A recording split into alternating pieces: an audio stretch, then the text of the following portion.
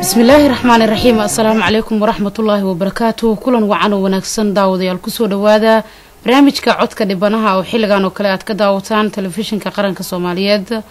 Barnaamijka toddobaadkan daawadayaal waxaan idinkugu soo gudbinayaa hooyo maka cabdulle caraale oo ka mid ah hooyooyinka soomaaliyeed ee ku nool magaalada muqdisho oo nagu soo booqatay xarunta wasaaradda warfaafinta gaar ahaan istuudiyaheena waxaana hooyadu ay haysataa wiil yar oo dhibano ah kaas oo lagu magacaabo maxamed cabdi ow xasan islamarkaana da-diisu ay tahay saddex iyo toban sano jir hooyada wiilkeeda waxa ay sheegtay in waxyeelada haatan haysata ama dhibaatada haysata ay ka soo gaartay madfac hooygooda ku soo dhacay sannadkii labadii kun iyo afartii islamarkaana halkaasi uu ku ruux baxay aabihii dhalay carruurta iyo sidoo kale labo kale oo ka mid aheyd carruurta hooyada oo dhibaatooyin nololeed iyo mid caafimaad oo wiilkeeda haysataba ay iskugu darsoomeen ayaa waxa ay ii sheegtay in dhibaatooyinka haysta ay aada u badan yihiin waxayna ugu horeyntii iiga warantay xaaladda wiilkeeda iyo sida noloshiisu ay tahay iyadoo ka warbixinaysa in wiilkeeda xitaa uusan hadli karin. Maama magacaaga marka hore. Magacayga maka cabdulle caraale hayo hooyo. Waxaad iiga warantaa maanta waxaad nagu soo booqateen xarunta wasaaradda warfaafinta gaar ahaan istuudiyaheena waxaad iiga warantaa wiilkan maadaa dhale anaa dhale haye sidan goormuu noqday sidan wuxuu noqday adiga muddo isagoo toddoba sano jira camal. Isaga iyo aabihiisi ilmo kale ayagoo guriga ku jiraan madfac ku soo dhacay. Sanadkuu ahaa wuxuu ahaay laba kun iyo afarti haye madafaca gurigiina ku soo dhacay ku soo dhacay ilmihii kale wax ku noqdeen? ilmihii kale way ku dhinteen. Iyo aabihii imise caruuray ahaayeen labo caruura haye oo adigaa dhashay? Oo aniga aan dhalay. Haye iyo aabahood. Haye waa dhinteen. Haye kana isagoo naf ku jirtaa laga soo baxshay meeqa sanoo jira markaas? Markaas toddoba jir camal oo ahaa. Toddoba sanoo jira. Haddana da-diisu waa imisa? Haddana waa adiga saddex iyo toban afar iyo toban meelaas waa gartay. Waxaad iiga warantaa marka xilligaas oo madfaca gurigiin uu ku soo dhacay halkee baad deganideen waxaan deganeen laamiga hoos xamarjab xamarjab laamiga meel marsha biyoodaan iska deganeen oo adigo jiingad noogu taali. Waa gartay haddana ilaa iyo hadda meeshana degantihiin maya hadda ma deganin. Haye waktigii dowladda nalaga soo dumiyay daraad oo dhulka la duminay haye marka wiil oo dowladda ka mid ahaa na soo qaaday wuxuu noo dhisay meel oo usiidyada iskool raaga ogaas gadaashiisa haye oo jiingad nooga dhisay meeshaasaan ku noolnaa hadda waa gartay. Waxaad iiga warantaa maadaama barnaamijkan uu yahay barnaamijka codka dhibanaha alaabana aan ku wareysano dadka dhibaateysan ee haysato duruufaha nololeed iyo kuwa kale ee ay haystaan dhibaatada caafimaad. Waxaad ii sheegtay in wiilkaaga isagoo toddoba sano jiro uu naafoobay. Qeybaha jirkiisa ka mid ah ee waxyeeladu ka soo gaartay iiga sheekay jirkiisoo dhanba waa dhaqaaqa laakiin oo hadda meel dhimatay male laakiin jirkiisoo dhan naafo waa. Sidoo kale daawadayaal hooye maka cabdulle caraale waxa ay sidoo kale ay iiga warantay xaaladda nololeed ee qoyskeeda iyadoo ii sheegtay inuusan jirin qof u dhaqdhaqaaqa qoyskooda oo u soo dhiciyaan nolol maalmeedkooda maadaama iyadu ay la daalaa dhacayso haysmada wiilkeeda oo dhibaato caafimaad darre ay haysato waxaa ii sheegtay inaysan awoodin in ay geyso dhakhaatiirta magaalada muqdisho si caafimaad uu helo wiilkeeda. Waxaynu alla uga baryeennaa in caafimaad buuxa uu siiyo wiilkeeda hooyo maka cabdulle caraale maadaama dhibaato aada u badan ay haysato. Haddaba aynu daawano xaaladda dhibaatada ah ee dhanka nolosha ah ee hooyada oo ay ka warbixinayso. Lugaha gacmaha naafo waay dhakhtarna ma aanan geyn oo awoodan ku geeya waa hili waay teeda kaleetood dhakhtar geesmadii waxaa ka sii daranba cuntadiyaaba la haynin bal sida dhakhtar waxaad tagi kartaa markaad wax cunto haysad ma ogtaha ilmaheeda cunto u haynin miyaad dhakhtar aadi kartaa? May. Dhakhtartiyaa awood aan ku geeyo aan kari waayo. Waa gartay. Wax hadala ma hadlaa wiilkaaga wiilkayga ma hadlo. Hooyo aabe eedo bis wax ka dhaama dhaho. Wax ka badan. Waa gartay. Waxaa ii sheegtay in toddoba sano isagoo jiro uusaa noqday. Markaasi qof fiican oo xayi muyuu ahay. Markuu hadlaa. saas noqonayo ha xoogaa qof adiga xay oo ahay laakiin cudur waa jiri. Saan ma ahayn laakiin. Hay. Markaas ma hadli jiri? Waa hadli jira hay. Hadda markaa hooyo hooyadiis maadaama aad tahay oo adi dadka aada uga dhowdahay sideed u dareentaa wiilkaaga inay baahi hayso maadaama uusan hadlaynin in maxaynad wax uu u baahan yahay. Markuu wax u baahan yahay actionka wax ugu baahan yahay kuu bixina gacanta Mhm. kugu tilmaamaa sax. Ee waxaan wuxuu rabo fartoo kugu tilmaamaa hay. Ma ogi ma hadlaayo hebel ma ku waa gartay indhaha wax muuga jeedaa macnaha jirkiisa maadaama ay sheegto lugaha iyo gacmaha inuu naafo ka yahay ee, uusan hadleynin een, ka waran qeybaha kale madaxa mm, indhaha wax muuga jeedaa indhihiisu waa fiican yihiin dhegihiisu waa fiican yihiin caqligiisu waa fiican yahay hay waa gartay maamo wiilkaaga yar markii intuu saa noqon ka hor dugsi ma dhiganaayo ma dhiganayna xoogaa adiga naafa naafada waan ka dareemay waa garguuran jiray waana socon jiray haye laakiin markii uu qaraxa ku dhacayo wada fariistay waa gartay hadda wax waxbarashaa ma lahan maadaama uusan waxbarasho mala ma kuwii ka waaweynaaba waxbarasho ii haysan isaga iska daayo asoo meel fadhiya. Kuwii waaweynaanba u awoodinba waxbarashada. Imise kaloo caruuraa kuu joogto maadaama aad sheegtay laba inay dhinteen aabihiina uu dhintay carruur kale ma kuu joogto hadda? Aa haye saddexa joogto. Waa gartay.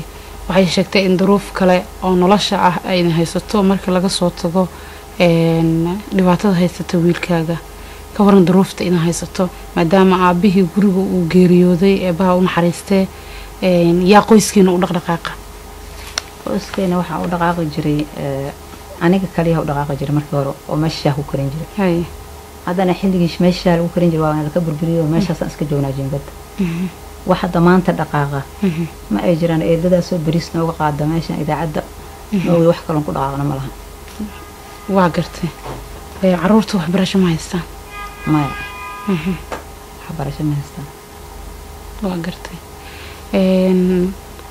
maadaama duruufahaas iyo dhibaatadaas ay ku haystaan dalka waxaa ka jira cisbitaallo free ah ama lacag la'aan ah ma isku dayda in wiilkaaga cisbitaalladaas aad geyso si xaaladiisa caafimaad aa ula socoto iskuma dabayana waa u awoodi waaye mar inaan ku u rooran hunguri u inaan asaga hunguri u inaan qaado meel geeyo waa isku keeni kari waay marka haddaan qaadana lacag aa loo baahan meel lagu tago isbitaal lacag ay noqdeen isbitaal lacagan ku geeyo ma haysto sidaa daraaddeed aan u fadhiistay. Waa gartay waxaad iiga warantaa marka noloshiina maadaama aad ii sheegtay in dhibaatooyin fara badan ay idin haystaan wiilkaagana uu sidan yahay. Caruurtaada kale ma ka waaweyn yihiin mise waa ka yaryihiin wiilka? Ma ka yar labana waa ka yarta midna waa ka weyn Mhm, halkaas ah. Waa gartay maxaa codsanaysaa marka maadaama dhibaatooyin fara badan ay ku haystaan? Waxaan codsanaa ummadda soomaaliyeed oo dunida iyo dibad dibadda iyo dalka ku nool. Meel kasta ay joogaan inayna caawiyaan. Aada u mahadsanta waa tahay daawadayaal qeybaha dambe ee barnaamijka ayaynu ku guda jirnaa maadaama qoyskan ay dhibaato intaa la-eg ay haysato islamarkaana aabahood uu ku geeriyooday madfac hooygooda ku soo dhacay. Waxaanu ka codsanaynaa dadweynaha soomaaliyeed ee ku nool gudaha dalka iyo dibaddiisaba in ay u soo gargaaraan qoyskan dhibaatada labada dhinac ay haysato.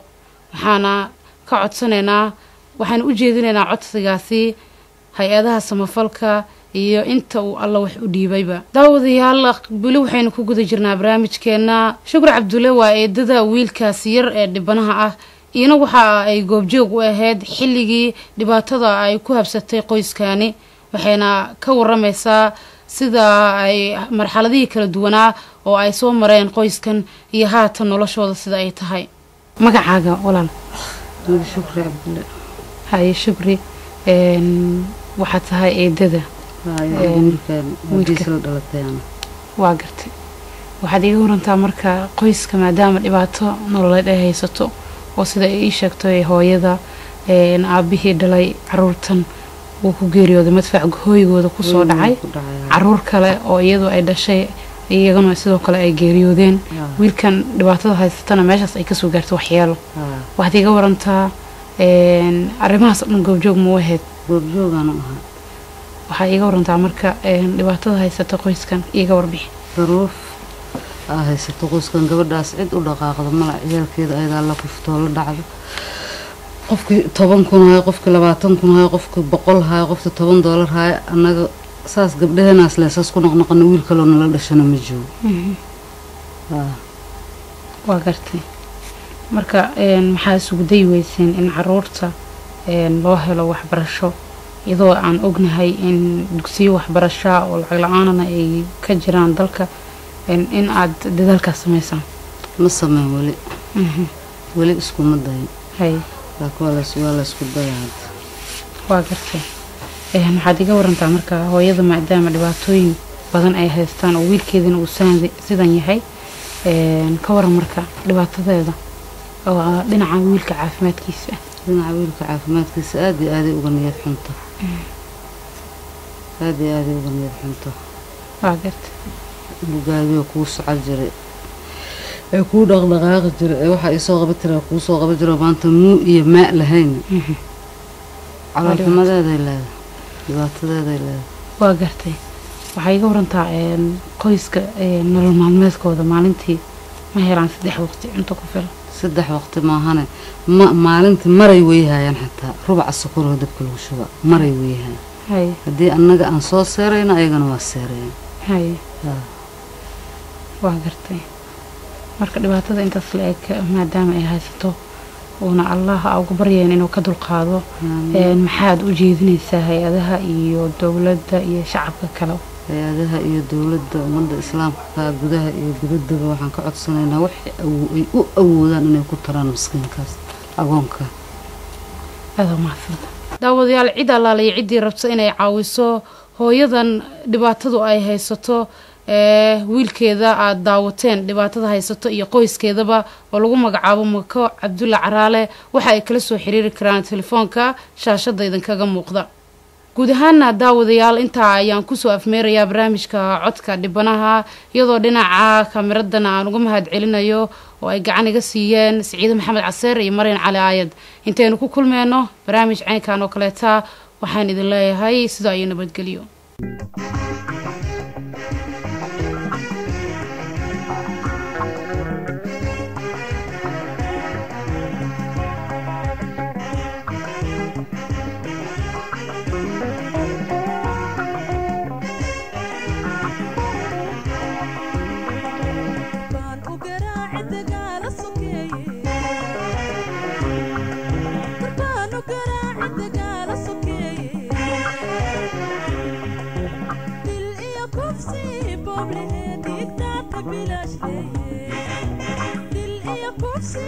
for me.